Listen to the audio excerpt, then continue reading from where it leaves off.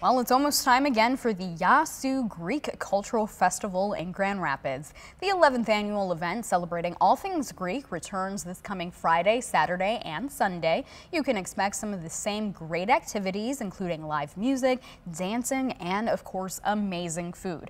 Back this year, cooking demonstrations. And for those looking to try authentic Greek cuisine, this is your chance.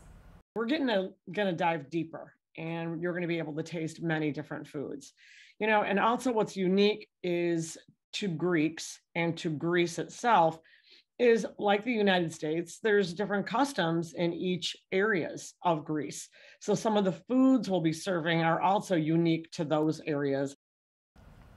Proceeds from the festival benefit two local charities, Olivia's Gift and the Mental Health Foundation of West Michigan. All the fun takes place at Holy Trinity Greek Orthodox Church in Grand Rapids. For more information, you can visit our website, 13onyourside.com.